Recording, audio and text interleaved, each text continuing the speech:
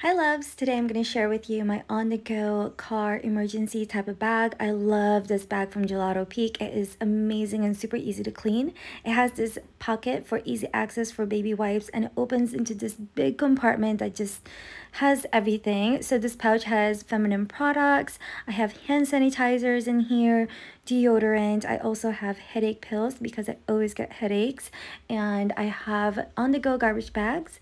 And in this, in this pouch, I have everything else from like body lotion, hand lotion, Tide to Go, eye drops, Dramamine, Lysol, hair ties, extra mask, and band-aids.